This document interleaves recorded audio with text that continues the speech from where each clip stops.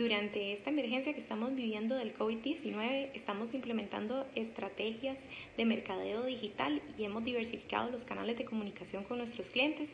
así como hemos hecho tres proyecciones de cash flow, uno a tres meses, uno a seis meses y uno a un año,